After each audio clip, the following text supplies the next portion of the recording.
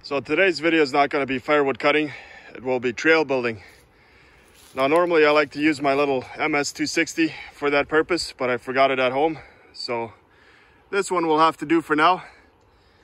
Now in a previous video I stated that uh, I'm getting rid of all my 60cc saws.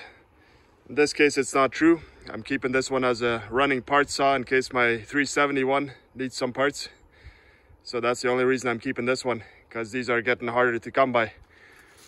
But anyways, I will be running this year little 365 along with these Fiskars loppers. Now if you've never used these before, these are called the Power Gear. Let me tell you, this is so far the only Fiskars tool I've ever bought. They are fantastic. Anything, let me open that one-handed.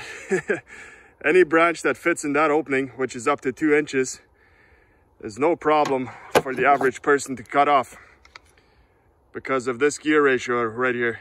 This gives you, I believe it gives you about three times your normal strength. So you can cut through branches, no problem. You can run this all day. And I actually recently reached out to Fiskars because this blade is getting kind of dull and they will they will send me a replacement blade which is their lifetime warranty. So yeah, if you've never tried these tools before, give them a try for trail building.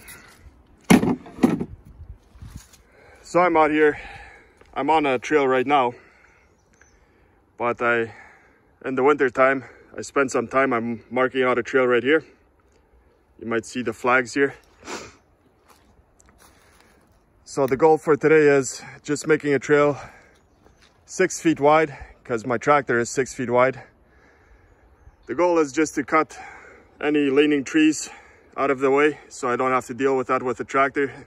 Like uh, they might fall onto the tractor, which has happened in the past, which is why I don't just push push the forest with the tractor anymore. I rather I spend the time and I cut everything out of the way that could fall on the tractor. So that's what I'm up to today. So this is part one. If you want to see the actual cutting, you'll have to skip to part two. But again, this is not firewood cutting, this is trail building. So might be kind of boring for you, but I'm gonna post it anyways because it's my channel and I do what I want.